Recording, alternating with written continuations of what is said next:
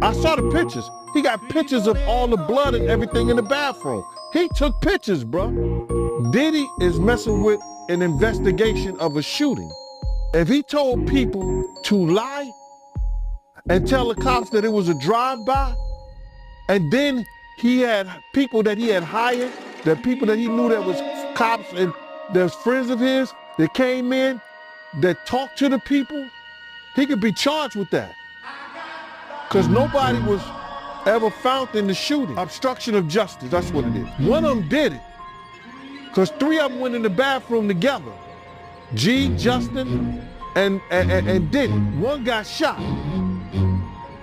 Unless the kid gonna say he shot himself, he had everybody, he told the people in the studio, he told all the people, and he lied and paid everybody off to lie.